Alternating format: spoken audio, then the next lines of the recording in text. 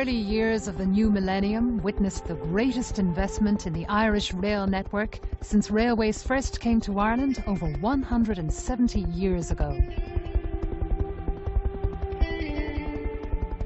A complete transformation, a sort of renaissance, has taken place right across the network and is set to continue well into the future.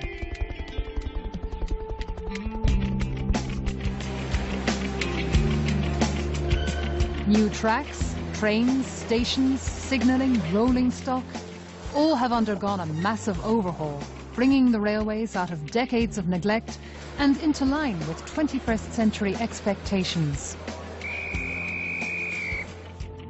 An idea that the early pioneers of railways could only have dreamed of.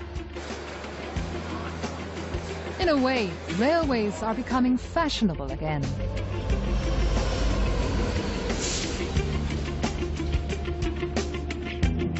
Over the next three weeks, this series will look at how, once upon a time, rail mania gripped the nation and enjoyed a golden age, followed by a long period of decline before being revived once again. This series will also look at how rail travel in Ireland can develop far into the future.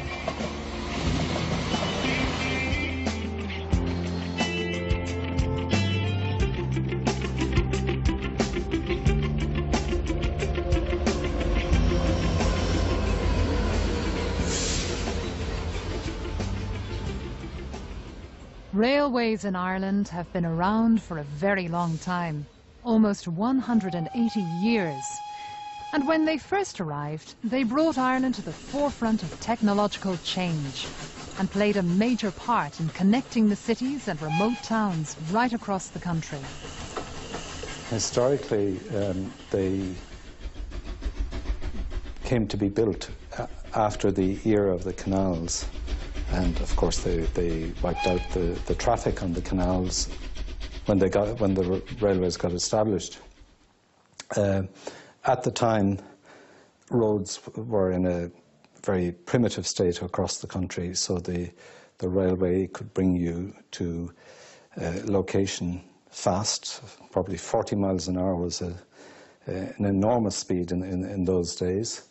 Uh, it could also bring heavy goods to various localities and it, it transformed the economy of Ireland.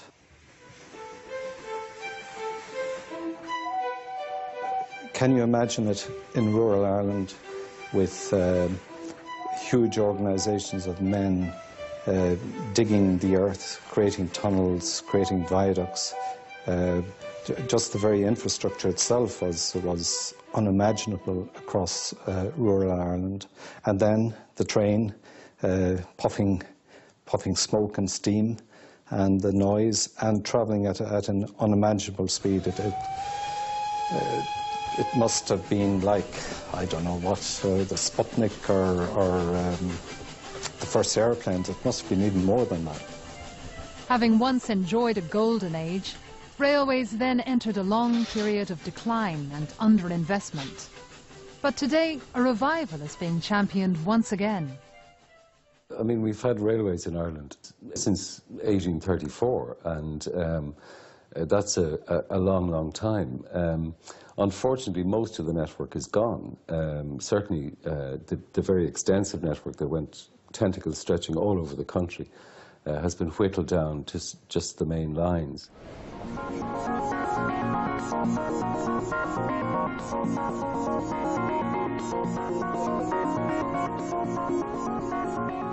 Towards the end of the last century, an exception to decades of rail neglect was the Dart. As the 8 o'clock Bray to Howth train pulled out of Daly Station in Bray this morning, CIE officials were describing DART as the most significant development in Irish railways this century. There were many who were quick to predict the failure of this new initiative. But the DART has been a big success and has proven that when commuters need to get from the suburbs into and out of the city, the train is still their best bet. 5,000 people use the limited service, an increase in passenger traffic of 50%. Because of that, six extra trains have been arranged for tomorrow morning. A spokesman said people were voting with their seats. Well, the Dart was very important, I think, in the Dublin context because it was the first electrified uh, rail service that we, we've had. And in fact, it's still the only one. Uh, all of the mainline rail uh, services are, are diesel. Um, they used to be steam, of course, but that was a long time ago. Um, so we have an electric railway line in, in the Dart, and that Uh, uh, carries a, an awful lot of people into and out of Dublin every day. The arrival of the Dart in Dublin in 1984 took place exactly 150 years after the launch of Ireland's first railway, the Dublin to Kingstown, or Dun Laoghaire as it is known today, a bustling suburb in South County Dublin. And still, the Dart travels along much the same route that Ireland's first rail commuters used. It's coincidental that the, the Dart was launched in 1984, which as it turned out, was the 150th anniversary of the Dublin and Kingstown in 1834. And um, this was the first suburban railway in the world and when, when it was built. Ireland's first railway was launched to great excitement in 1834 and, like the Dart today, proved very popular. When the Dublin and Kingstown opened, it was an instant success It carried a huge number of people. There were uh, big dividends to the promoters. So a kind of railway mania began. Small Ireland was at the cutting edge of, of railways in those days. Much of the Dublin to Kingstown's early success was due to a sizable resident population that lived along the line. And as the coastal route was developed further and the population continued to increase over successive decades, this evolving population provided a healthy number of passengers for the railway, and this has ensured its survival today.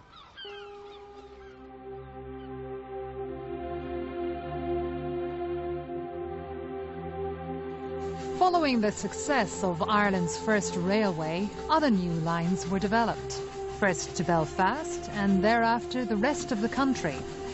Investors decided that rail services should extend to where, at that time, most of the population lived, the far reaches of the country, west of Dublin. Kingsbridge was built as the terminus for the Great Southern Western Railway, with the ambition of extending railways to the entire southwest and west of the country.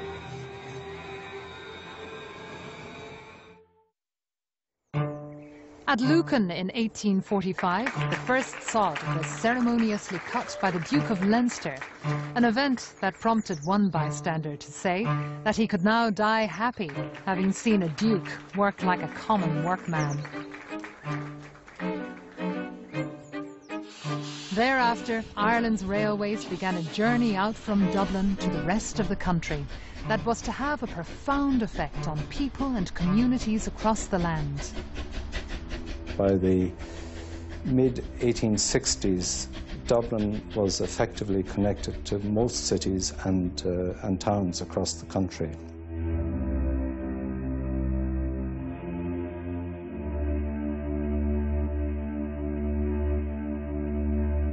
The expansion continued because railways made sense. Uh, they they uh, brought people and goods with unimaginable speeds uh, and uh, relatively comfortably uh, to their destination. The, the railways were an integral part of the, the then Irish economy, um, carrying people and goods all over the country. And for a good deal of that, the railways made money, or at least in the central parts, there may have been some peripheral areas where uh, they didn't make economic sense.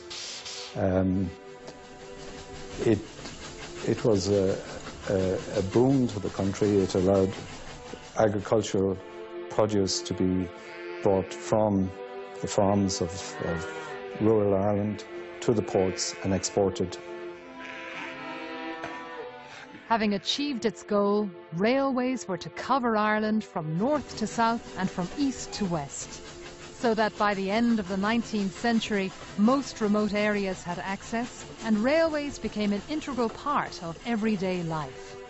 It did its job very well. It delivered people and it delivered goods and uh, cattle and fowl and messages, etc., etc., etc. It was a vital community link along the west coast. Then it died when people stopped using it with the advent of the motor car. But the important thing is that a lot of the line had the idea of linking western towns still exists.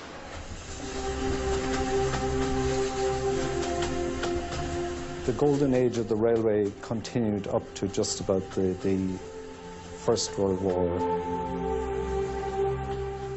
The effects of the First World War were decisive on the railways, on the railways all over the world as it happens, because the internal combustion engine was developed to a new level of sophistication.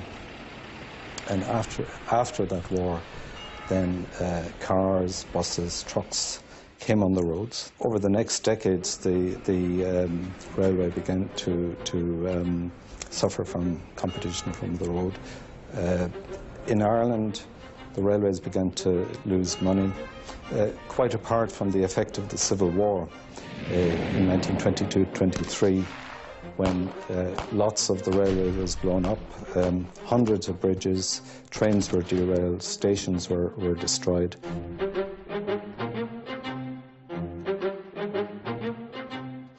The rail system, ironing the land, was really a wonderful 19th century product of the Industrial Revolution. And to be able to deliver thousands of people in a straight line from A to B, it was quite revolutionary in its day. And the railways right across the developed world had a growth period until after the Second World War. The Second World War saw the mass development of the motor car. The golden age of the railway in Ireland was at its end. The new revolution in transport was to take hold and continued for several decades after the formation of CIE in 1945. People fell so in love with the motor car, they put pressure on governments, again through the political establishments, to build more and more roads, more and more spaghetti junctions, more and more autobahn, autostrada, right across the developed world. And people got very fond of their car. And in this small island, they got so fond of their motor car that they abandoned the railways. After the Second World War, I suppose, Ireland was in an economic backwater as well. And uh, when uh, CIE was formed, the government wanted it to reduce its losses, which plainly was not possible. And uh, so uh, the, the stasis continued and the, the problems of, of little money being spent on the railway conti continued. In the late 1950s and early 1960s, renewed efforts were made to hold the rail network together. In the 1960s, you had quite some amusing marketing campaigns. You had the musical expresses, the singing hostesses, you had the Killarney specials, you had the shopping specials from the provinces to Dublin. The railways got a little bit of revival because they were in tune with the times and they began to reach out to their customers uh, with some success. Good morning, everybody, and welcome to the radio train to Killarney. Lord Conor Jassy here to welcome you aboard to tell you something about our trip and the country through which we'll pass. We pass through verdant countryside. We see a country with 40 By the late 1990s, the love affair with a car had turned sour. Congestion in cities and towns across the country brought transport issues to the forefront of national debate and put public transport concerns back on the map.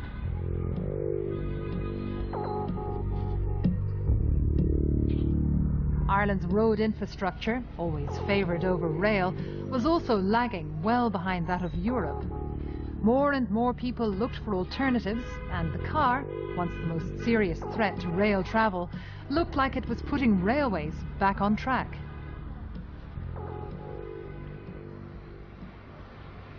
The defect that, that in terms of public policy, um, road versus rail, has been there for a long, long time.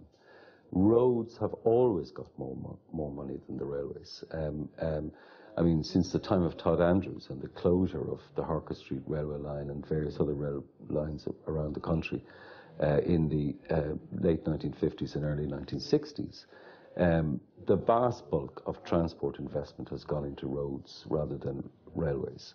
So that, you know, the railways were always playing second fiddle in terms of investment. So a very stark choice faced the government in 1997 that they just had to invest in at least improving safety, if not speed, uh, on the rail network. The railways, which had suffered five decades of neglect with little or no investment, put their case to government. I suppose the commuter services are the most important, um, particularly in Dublin, uh, because they carry, you know, large numbers of people to, to and from their places of work.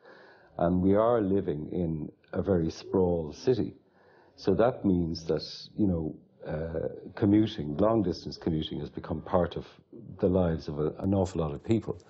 Uh, where you have a commuter belt that stretches out, you know, uh, up to 100 kilometres.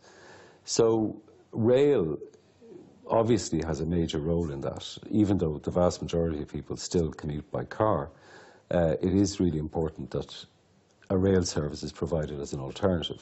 The success of the DART and some newly refurbished intercity services showed that travel-weary commuters would consider alternatives and that the railway could be an attractive option to road transport. Many commuters started to consider rail to avoid hours of gridlock. The creation of the DART gave a fillip to the morale of the railway managerial culture. I mean, they showed that they could create a completely new commuter system and do it well, and in fact is, is well established by now. There were the, na the naysayers, there were the people who said, this will never work, nobody will take it up, they won't get out of their motor cars. Well, it proved once again, if you offer people an efficient, comfortable service, they will do it, they will take it up. The DART system catapulted us out of the third world uh, railway system and to some degree uh, across the country. It showed you what real investment could do in the railway.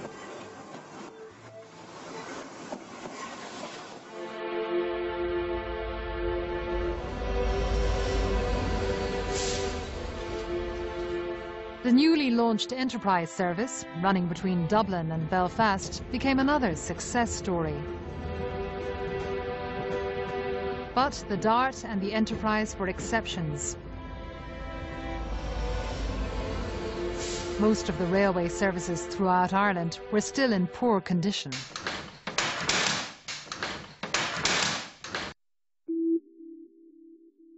Throughout the 80s and 90s, little or no investment went into Ireland's railways, resulting in a serious deterioration of track, signalling, rolling stock and standards of service.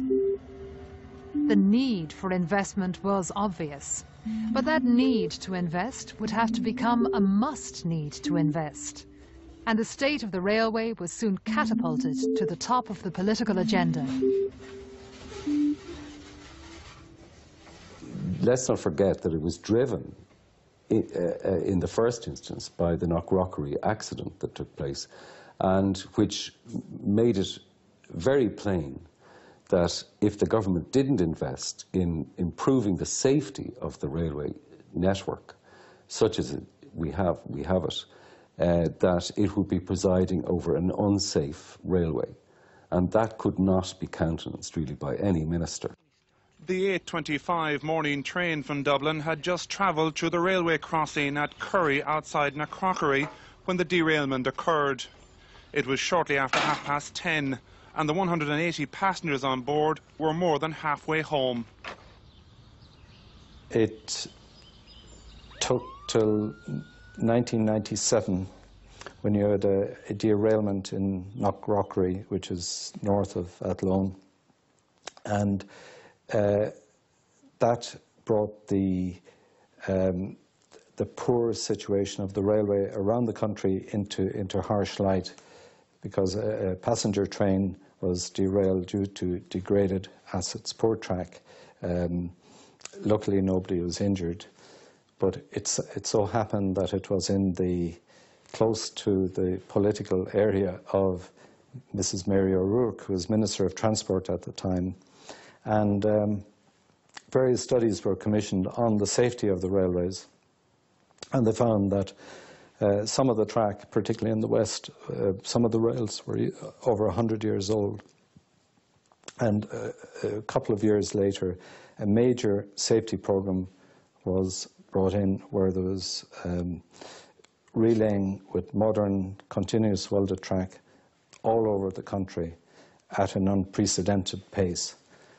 Um, and that really opened up other investment which, which followed, uh, I suppose, uh, taking advantage of support from the European Union. Uh, then uh, a myriad of other uh, improvements in the railways uh, took place over the, the late 90s into the 21st century. It included new rolling stock, improvements to stations, improvements to signalling, and many other areas. After government acknowledged the need to invest, making the case for the railways couldn't have been better timed. Ireland was experiencing huge economic growth, and a benign Europe smiled.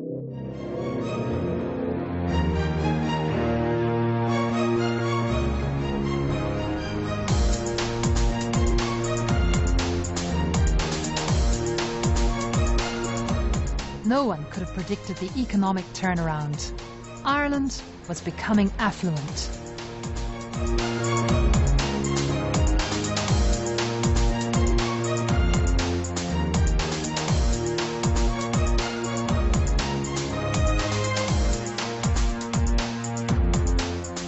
The pressure to deliver a 21st century rail service was huge. After five decades of underinvestment, the railway was now expected to provide an infrastructure and service, and quickly, if it was to provide a real alternative. The daily commute in and out of our cities had become, for many, unfeasible, and commuters were being forced, literally, into the refuge of rail cars. It seemed that the railway's time had come and it would have to catch up fast.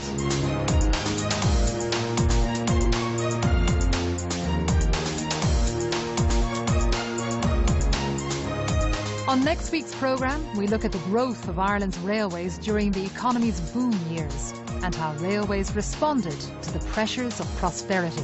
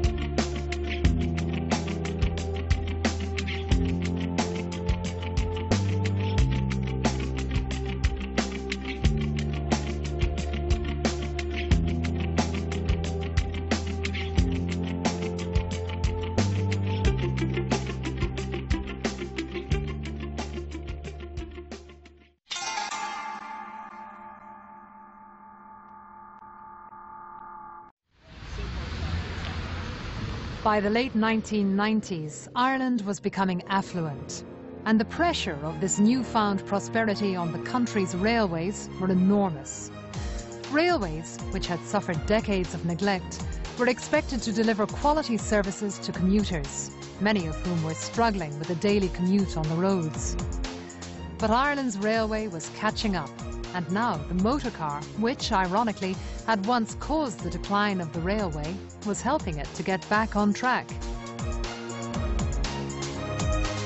Both road and rail were about to enter a period of dramatic change.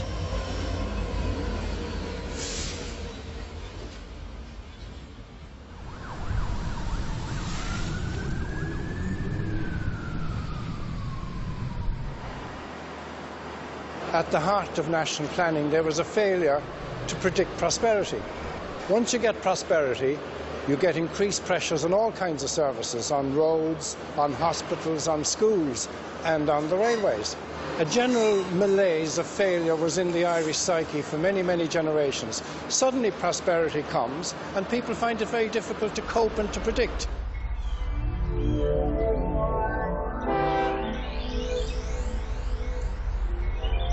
While government realised the need to invest in railways and made a commitment to do so, it was apparent that the road lobby were destined to receive the tiger share of the investment, and that railways once again would have another bridge to cross. Roads have always got more, mo more money than the railways. There was, I think, an inbuilt um, vested interest in this country in building motorways. Um, because um, there was so much money to be made out of them and we had all the resources that we needed to do it ourselves. And so the much promised transformation of rail infrastructure from the ground up had begun. The first of its kind since railways first came to Ireland. And a welcome respite for those who had struggled to keep the rail network together for so long. The people who were here in the kind of early to mid 90s uh, were heroic in many ways because they were keeping the show going on uh, meagre funds, both in terms of day to day operation and in terms of, of capital investment. There really wasn't any uh, major capital investment outside very specific projects. So, uh, in the face of increasing demands from, from customers and indeed from uh, people around the country, be it communities, be it politicians looking for this improvement, that improvement. There were a lot of good intentions to try to deliver that, but unfortunately there wasn't any funding provided to do it. And uh, they were, I suppose, the generation that really kept the thing going uh, through sheer graft uh, without the support that they would have looked at their counterparts in Europe and elsewhere uh, and said, if only we had uh, some of that, what, what we could deliver. Where to invest, what to invest in, expansion of the current system, the development of new lines, the reopening of old ones, new life for the regions, the planning of new rail corridors, new rolling stock and brighter, modern-looking trains, decay and decline about to be reversed. A renaissance for the railway? Perhaps. But what were the real priorities for renewal of the railways going forward? By the late 1990s, the government in Ireland had, had realised that uh, some big decisions had to be taken with the rail network. Either the rail network was to be retained and developed and enhanced, and if it was to be, then significant investment was going to be necessary, or perhaps a more negative decision to withdraw from some of the network. But fortunately, the decision was taken to retain the rail network and to develop and enhance and modernise the rail network. And by the late 90s and by the year 2000, a substantial programme of, uh, of renewal of the basic infrastructure of the railway had been announced. The work that had commenced by 2003 uh, was work that was absolutely essential renewal of the track, renewal of the signalling systems, but not necessarily work that was visible uh, to the day to day passengers on the trains on the railway.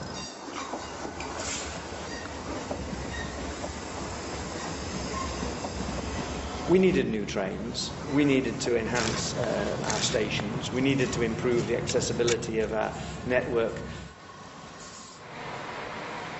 it was a you know a very exciting time, very challenging time as well when the investment came through for the people who had to deliver that because uh, the, the, expectation was created, and uh, in the early years with the track and signalling, it wasn't very visible investment. But then when the trains started to come through and the frequency improvements came through, uh, people saw well this is where uh, my euro is going. This is where, uh, be it what I'm paying in fares or what I'm paying in taxes, uh, this is the benefit uh, that I'm getting.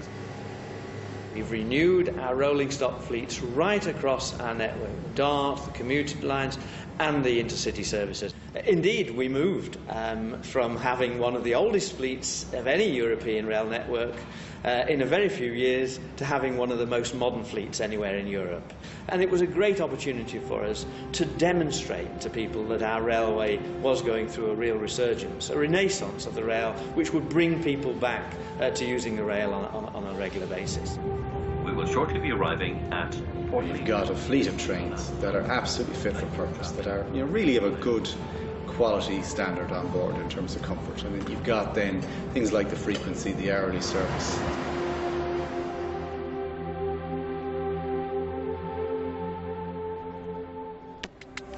The railways were coming of age. Investment was flowing, and the much promised transformation had begun. The first of its kind in over a century. an opportunity to reconnect Ireland's towns, cities, and to address some of the transport imbalance that had existed for too long.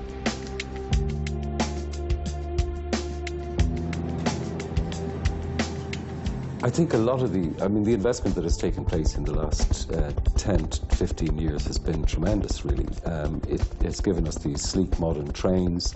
Uh, that's the most visible evidence of it. Uh, the number of, of trains is much larger. Uh, the length of the trains is much longer. Uh, there, there's more and more people using it all the time.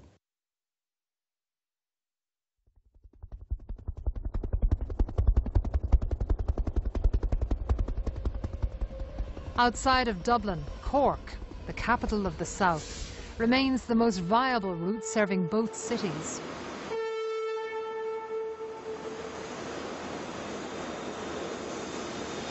Hourly services run along the newly upgraded former Great Southern and Western Line, with new connections via Limerick to Ennis and Galway.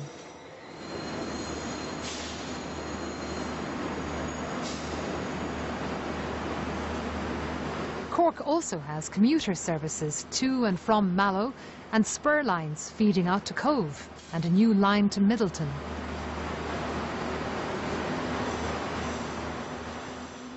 When Cork was first reached in October 1849, the journey from Dublin took six hours and it had six terminal stations.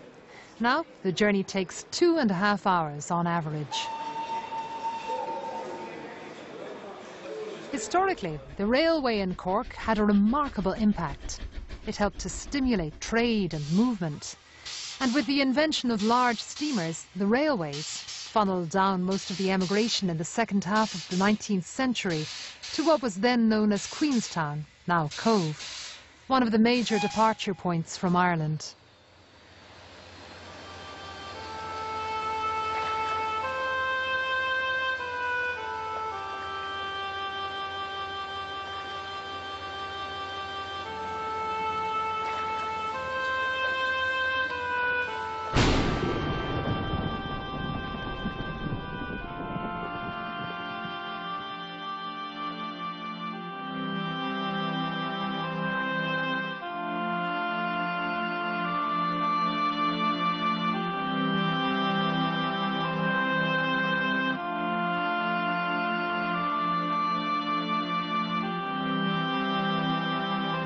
Had it not been for the railways, many thousands would arguably have died of starvation at home and wouldn't have made it to the New World. Had it not been for the Industrial Revolution, they might not have had the ships to take them there or made new lives in industrialized America.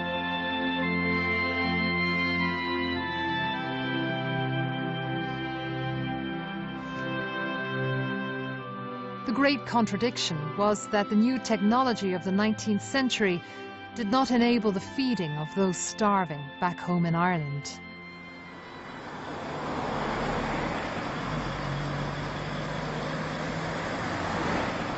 But railways alone cannot develop economies.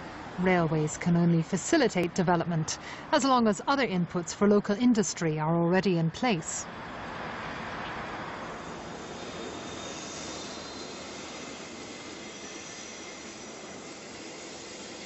Today, Cobh serves a substantial population along the line into and out of Cork City.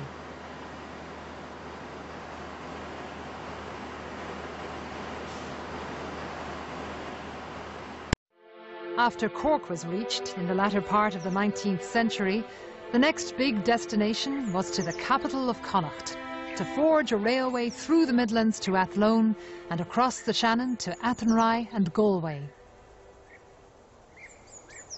In June 1846, construction began at Broadstone in North Dublin and was developed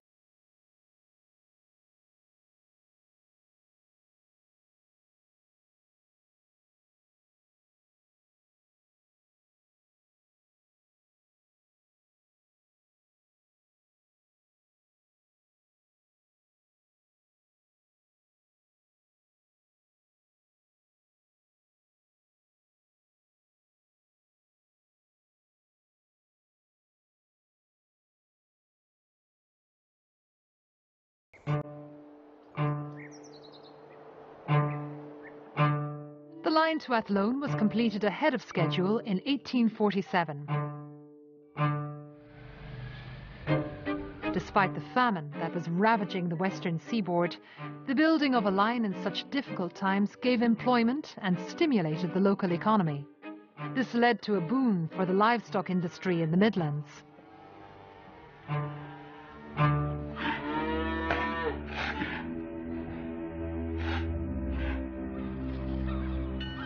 But for the west of Ireland, it was mostly people, not cattle, that were being exported.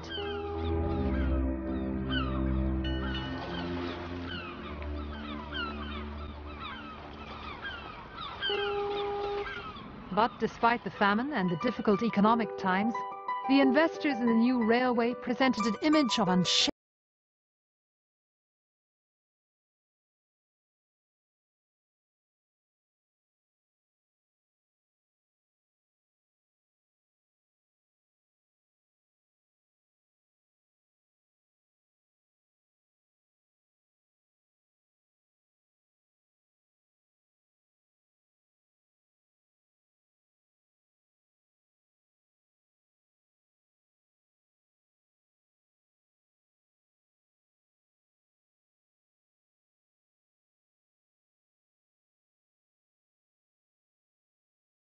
Many routes were abandoned. A century later, during the 1950s, Ireland suffered a fresh wave of emigration, and the population was reduced again.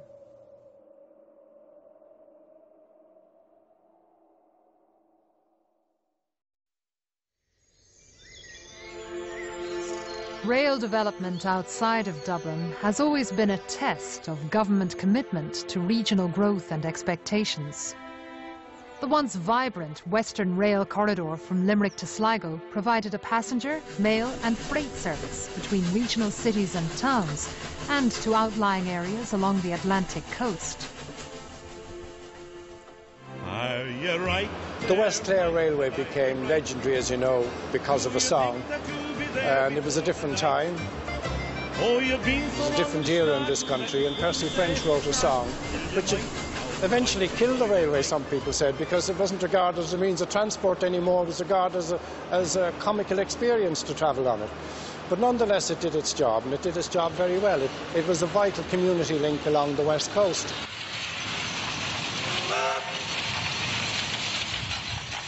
The idea of a western rail corridor seems self-evident, but there is this extraordinary gap between the East Coast political establishment and the needs of the West. There's nothing new about it. It's been there for many years. John Healy wrote a book about the death of a Western town called Nobody Cried Stop.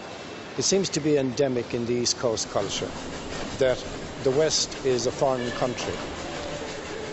As far back as 1894, it was possible to travel from Sligo to Limerick by train. However, as the railway went into serious decline, so too did the rail corridors that ran up along the west of Ireland. The Western Rail Corridor and its potential for development has, it seems, been finally acknowledged, and a new service links Limerick to Ennis and Galway. But so far, the numbers using the service have been less than predicted. Iarnród Éireann has not done itself a huge favour in terms of the service that is already being provided between, um, between Ennis and Athenry. I mean, train speeds, are, again, are slow. um, you could uh, uh, easily beat the train on the bus or in a car, and you know you and passenger numbers as a result have been much lower than expected. The figures for the first year are around 250,000 people used the Limerick to Galway service. That's not enough, but I would argue that what we have at the minute is half of the Western Rail Corridor. Until such time as the next phase, which would bring it to Tuam, is in place, you will not see the real advantages in Galway until such time as on the existing phase you have the station in Oranmore in particular, which is a huge commuting area. You will, I think, see a huge upsurge in people who will avoid all of the roundabouts or want to avoid all of the roundabouts coming into Galway who can get a train service that brings them right into the middle of Eyre Square. And once that starts early enough in the morning and finishes late enough in the evening, I think you're going to see a huge growth in numbers by that alone.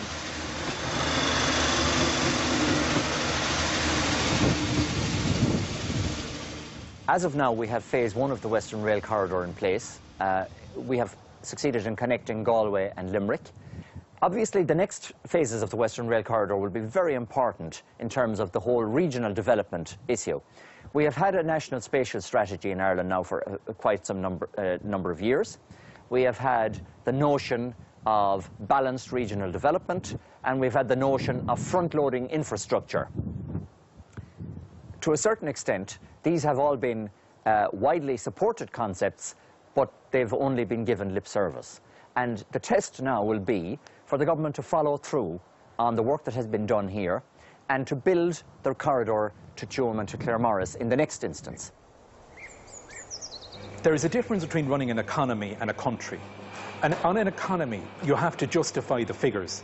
This is about running a country. It's about a spatial strategy. It's about connectivity for the West the same as for the East. Not everything comes down to pounds, shillings and pence. I accept there has to be an economic argument. I would argue there is an economic case to be made for a rail corridor up through the west of Ireland. But we will only know that when it's put back in place. For too long, uh, there has been a perception in Ireland that the railway company and the railways are a drag on the economy, or that the subvention, as it's called, that's given to railways is in some way something foolish. Nothing could be further from the truth. In actual fact, it behoves any developing democratic country to support the notion of public transport and to invest taxpayers' money in public transport. And even if public transport requires a subvention, I contend that that's what people pay their taxes for. We pay our taxes so that we can have these services. Politicians react to numbers.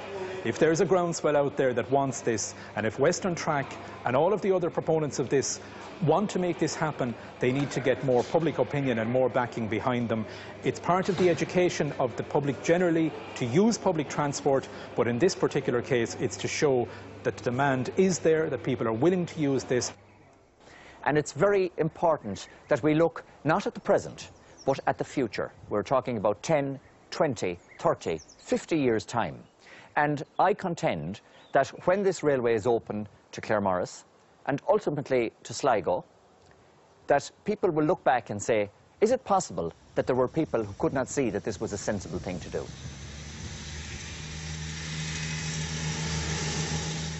I think the Western Rail Corridor is, is really a fantasy.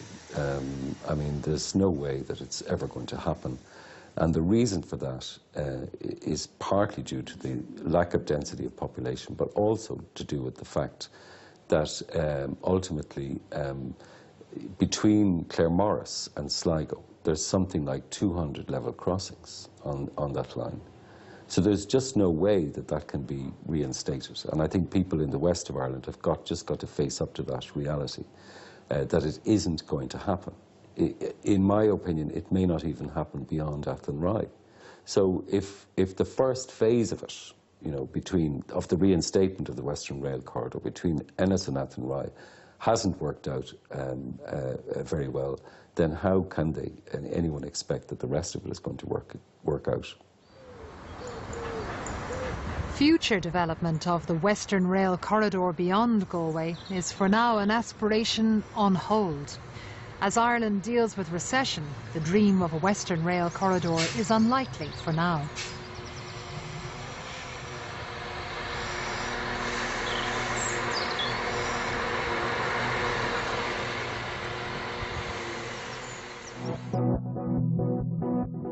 Next week, we look at some of the big spend rail projects under consideration. Currently on hold due to recession, projects such as line speed improvements, Dart Underground, Metro North, and a DART-linked Dublin Airport. All of which could further transform the future of rail travel in Ireland.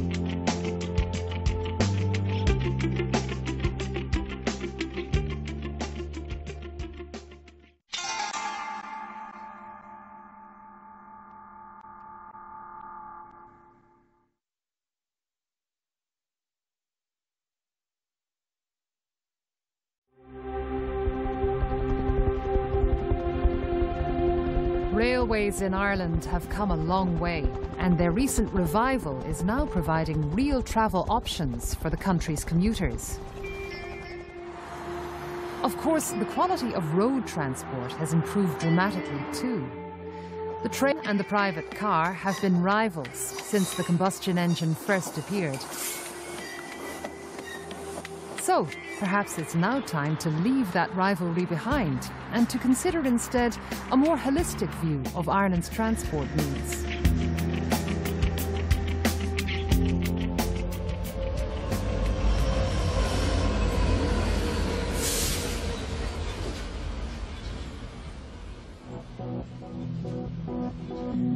A number of proposed big spend projects, such as Metro North and Dart Underground, which are currently on hold, and further planned extensions to the Luas, leave the future development of Ireland's transport systems open to question.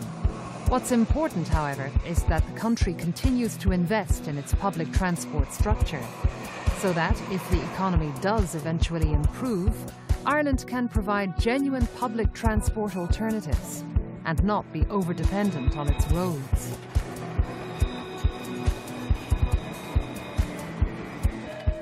With 40% of Ireland's population living in Dublin, it's not surprising that priority for new rail projects is given to the capital, which requires efficient mobility into and out of its centre.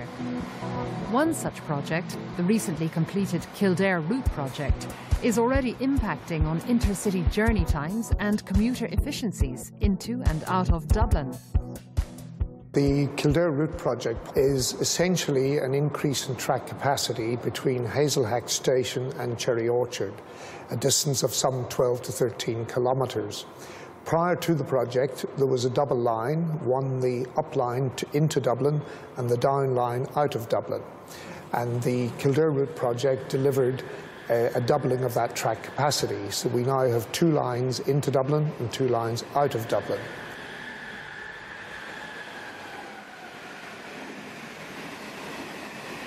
One of the main benefits of the additional tracks are there is greater flexibility. In other words, prior to the project, if we had a breakdown in one of the lines, all services behind that line had to stop. Whereas now with the forward tracking, we have two up and two down, and it gives much greater flexibility, much more ability to run services when we do have a problem or an issue, and obviously in the longer term, much increased capacity. The Kildare Route project is also helping to ease line congestion into Dublin. But much more is required if intercity journey times are to be reduced and railways can persuade commuters to leave their cars.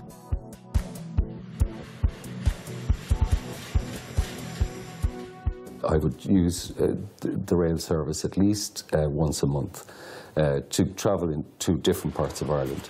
I mean, the trains look better, but they don't run fast enough. I mean, that's the basic problem. Uh, and they're being outbid really by the motorways at this stage, and people are making those choices on a daily basis. And unless train speeds can improve, the situation will only deteriorate over time people can make journeys by private car now much quicker uh, in complete safety on, on the motorways uh, than they used to be able to do. So we've got to improve our competitive edge. Uh, we have got to make our intercity journey times quicker. The new trains we purchased uh, have good high speed potential, uh, but we need to reduce some of the places where our track is speed restricted there are uh, a number of places across the state uh, where we can't, uh, where the train can't travel at its full potential because the track is speed restricted for various reasons, and we need to uh, carry out further infrastructure work to get over that. We're determined to do that. Uh, we're determined to ensure that you can get by train uh, to, from the capital, to and from the capital, from any of the major cities of the state uh, within about two hours. And uh, that, that, that'll be a good target, I believe, to give us a competitive edge again uh, over the private car. Perhaps the greatest symbol, if not the only symbol we have of the Celtic Tiger era, is the new Galway to Dublin motorway, which means that you get from one end to the other in two hours. That obviously has repercussions for public transport because if you can get there quicker by road, it disincentivises the, the, the, need for public transport or the desire to take public transport. But it's to emphasise, I guess, the facilities that are there, the fact that you get work done, the fact that you can have something to eat, the fact the comfort and the lack of stress from being on public transport, that that is the key to all of this. It's one of the difficulties I would have with taking a train. I have two children, I'm married with two children. The price for four people, two adults and two children, to go on a train makes it cheaper for me to go by car. If I'm going on my own, I would use the train on a very regular basis because that makes economic sense. So you must make it as price competitive as you possibly can if we can get that message across, the combination of having a service on your doorstep, having a competitive pricing, price service on your doorstep, and having the possibility of getting tax back as a result of using a competitive service on your doorstep, all of those things together make this work. However, speed remains a key issue. Well, I think that uh, Iarnród have put forward a very valid case to spend, um, I think, 275 million, um, a, a, relatively modest sum, which is less than a third of the cost of the M3 motorway uh, between Blanchardstown and, and, and, the outskirts of um, Kells uh, to improve train speeds. And that would be the, I think, the single most important investment that could be made at this stage. When buses first appeared in Ireland, they were seen as another threat to the railways. Private bus operators had to apply for licences, have their fares approved, and publish their schedules so that bus services would not conflict with train schedules. When this proved unworkable, most bus services were amalgamated into the newly formed CIE, who bought them up and ran them themselves. Timetables were coordinated for both road and rail. Today, the improvement in the quality of Ireland's motorways means that intercity bus services are freely competing with intercity train services on much the same routes. And, like the private motor car, those buses are putting more pressure on the railway to compete.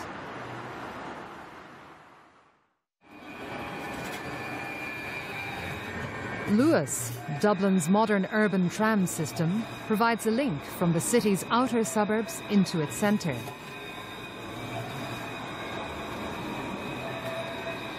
Luas also provides a link to and from intercity train services at Heuston Station and Connolly Station in the heart of the city, connecting mainline rail into Dublin's DART and commuter network. Luas is set to expand its service to Broombridge in North Dublin and may yet provide an interchange with suburban rail, bus and future projects such as Metro North and Dart Underground. And with a further extension in the future, Luas may even provide a rail-based link to and from Dublin Airport.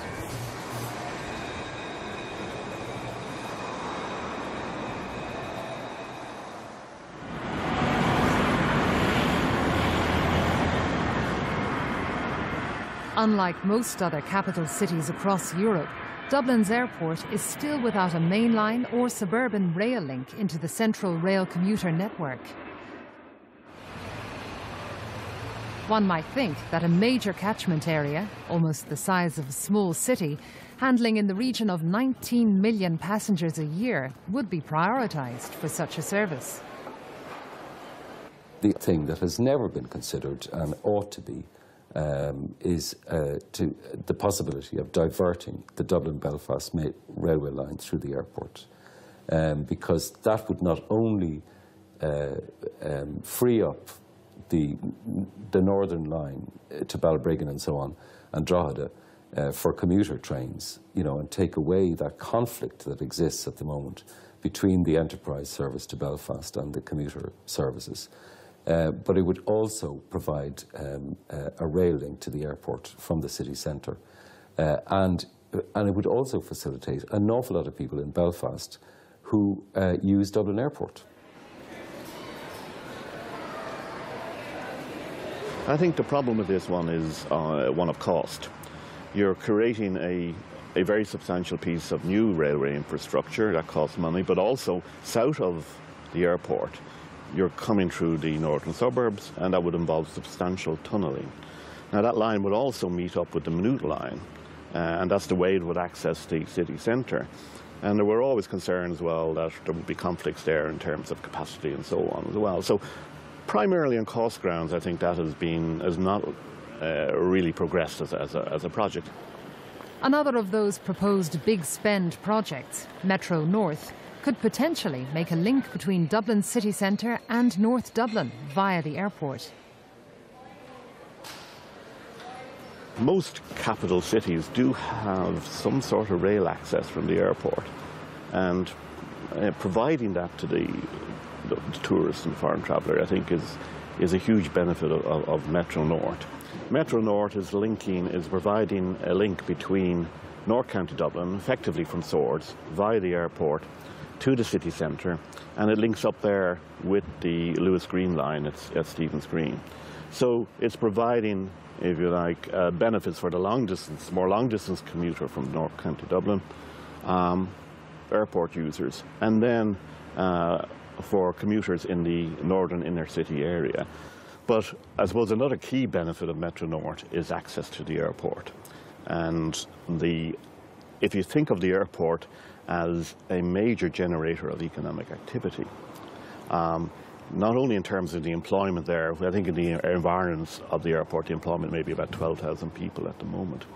But the sheer volume of passengers moving through the airport, now at perhaps I think around 19 million or so.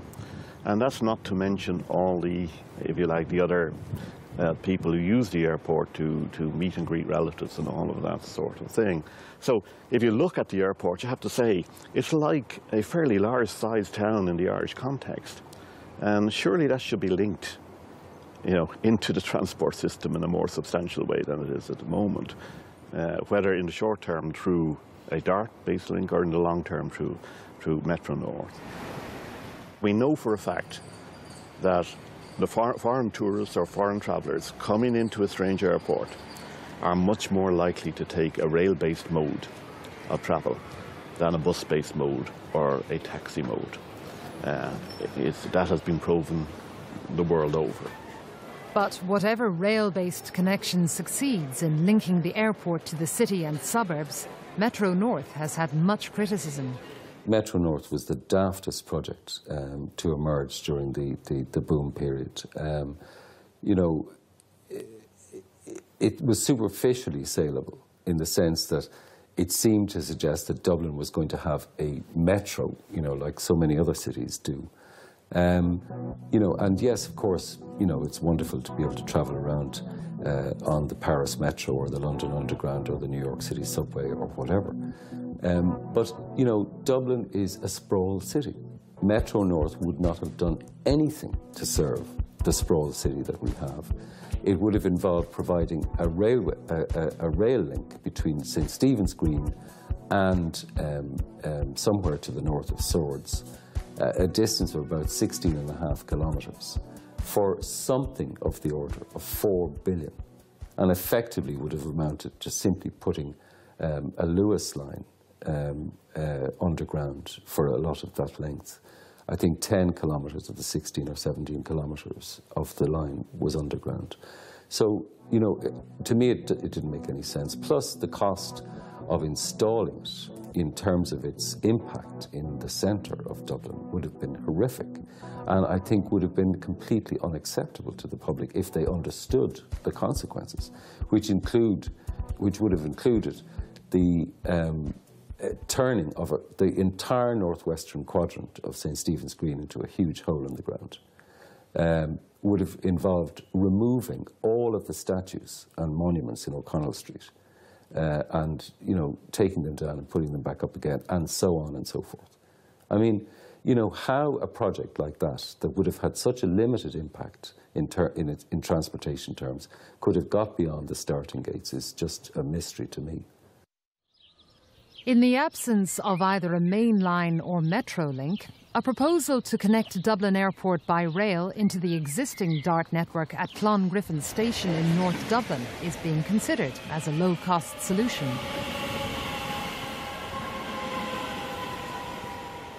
And so I think this um, proposal for a DART link to the airport has come up in the context of Metro North being postponed for a considerable period of time. Uh, and against that background, it looks like a very attractive project to me, um, in the sense that it's providing a link to the existing DART system and through that through to a wider network um, for a very low level of capital cost. I think the, it's been estimated to be of the order of 200 million euros or so. And the reason for that is, of course, that it's connecting the existing DART line to the airport through what essentially is a greenfield situation. So the cost of construction and so on are likely to be low. I think uh, the other, obviously, it, uh, uh, the other benefit in, in, in, relation to it is simple access from, from the domestic, uh, domestic population to the airport via public transport link, a fixed public transport link. Ongoing improvements to rail transport provides the country with genuine travel alternatives. But there remains a missing link in the jigsaw for commuting services, which, when realised, will transform rail transport in the Dublin area.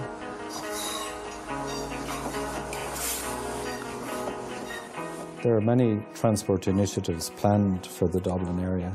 I suppose the the Dart Underground is, is uh, one of the biggest. Uh, it certainly sounds promising on the basis that it would, in, in one step, it would, you would be able to increase the, the DART uh, network by three times. DART Underground is regarded by most commentators as the missing piece of Dublin's rail jigsaw. It would, if completed, connect the Cork Intercity line right through to the Northern Intercity line to Belfast. Starting at Inchicore, a twin tunnel, one for each line, will go underground to Heuston Station.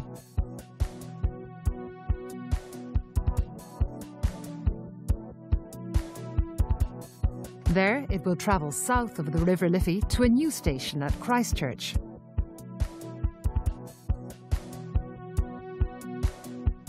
From Christchurch, it will go to St Stephen's Green, where there will be an interchange with the Luas and potentially the Metro North system, should that project ever proceed.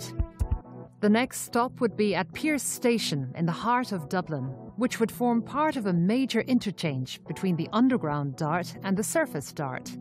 This interchange will allow commuters to come directly into Dublin city centre without having to change transport modes, enabling commuters to connect with the surface or underground DART service.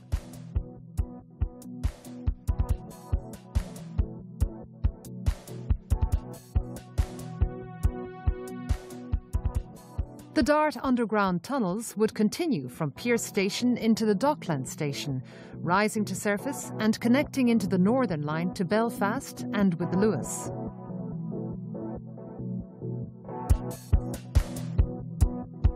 People don't like the idea in Ireland of changing trains on their daily commute at the moment because it's the network of now.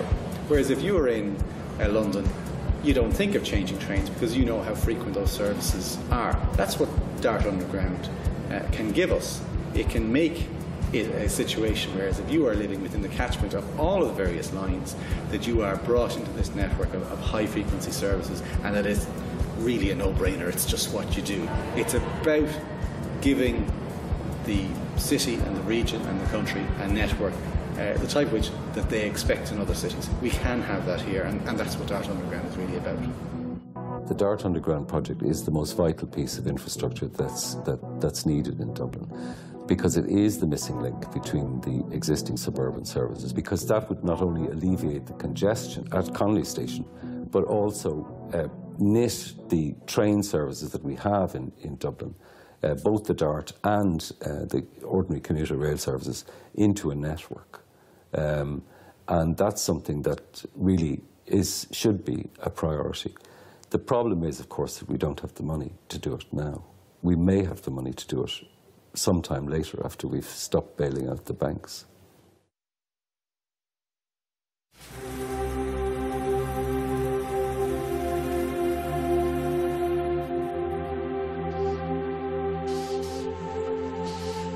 While many of the proposed big spend projects are on hold now, it's maybe timely to reflect again on Ireland's real transport requirements for now and into the future.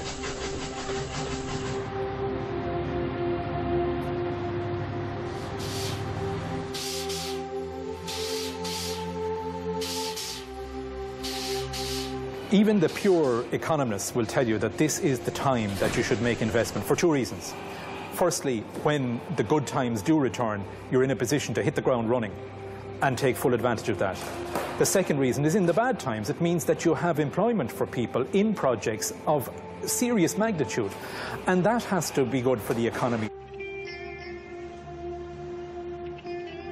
For Ireland Inc., we need uh, good connections all over the country, and if Dublin is to become a, a, true capital which will attract in multinationals. We need good mobility around the city. When we look at other European countries, such as Finland or Switzerland or any of these countries, we see that it's a priority in all of these countries to have a good quality rail system. Thinking people in every country in the world can see the value of rail. And there are plenty of thinking people in Ireland as well. But there has been a tradition of apologising for railways, which we need to get away from. We need governments to become imaginative. We need governments to be proud of their achievements in rail. And we need them to take on the notion, once and for all, that they are going to promote the concept of railways. I think the, the Irish public uh, should be happy with their ra railways. Uh, uh, they can travel most parts of the country now on a high quality train service at pretty good speeds and in uh, comfortable trains and uh, I believe pr pretty reliable as well. Uh, it, it has been quite a sea change from how it was two decades ago. Today we owe much to those early pioneers who laid the first tracks out to Kingstown over 170 years ago. They were part of something that had a profound impact on Irish life. The latest development of Ireland's railways continues that legacy, proving that good, targeted investment in public transport can have many far reaching effects for the country and for its travelling public.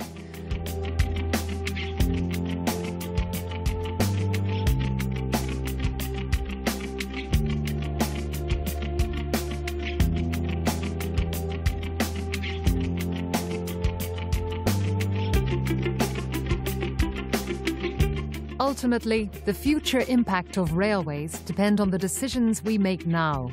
informed by the kind of society we want for generations to come.